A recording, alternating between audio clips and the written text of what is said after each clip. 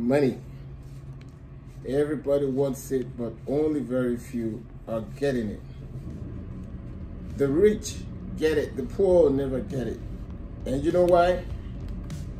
Because they want money. They want this.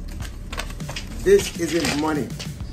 And the opposite of poverty is not fucking money. The opposite of poverty is not wealth. It's not getting rich. The opposite of poor is not rich. The opposite of poor is self-awareness. Self-fucking awareness. When you understand, you come to a place where you know who you are. You are aware of who you are. You will never stand poverty one more day in your life. And that's the fucking truth when you come to understand, you see, people try, they, they, they, they, they, they, claim to hate poverty and then they start hustling. Hustling is a characteristic of poverty. You hustle, you hustle, you want to grab because you think there's so little of it. So you work hard, you grab, you cheat, you lie, you react, you, you mess up, you get emotional.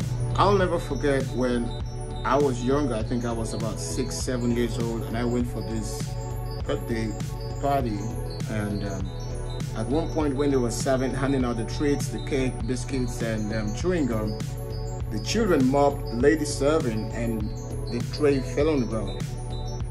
And everyone was, you know, grabbing it. And just because I was a kid, I would peer pressure or something. I, I actually did that with them.